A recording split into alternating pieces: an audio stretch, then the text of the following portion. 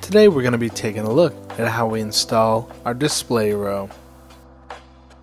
Here's a list of the tools you'll need to complete this project. A drill, a measuring tape, a bubble level, pliers, a screwdriver,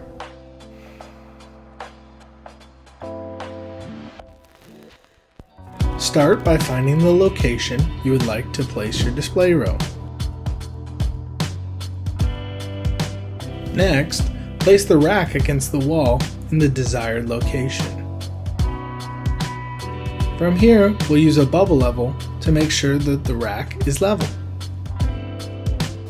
Now that the display row is level, make a mark for all six holes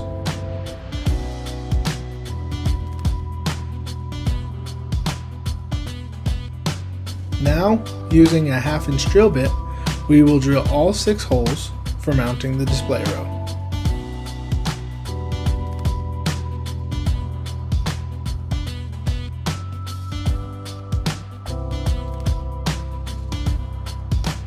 Now that the holes are drilled, we can begin assembling the hardware onto the display row.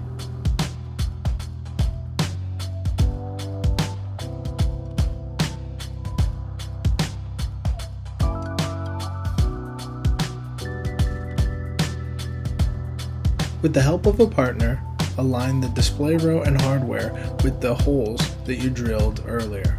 Push the toggle bolts through the drilled holes. Make sure to do all six of them before tightening.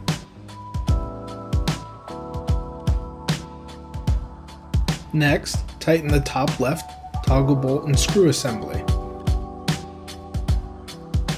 This allows for the display row to still be leveled. Once the display row is level, make sure to tighten the top and bottom hardware for the right side. Next, tighten the bottom left hardware, followed by the middle top and bottom hardware.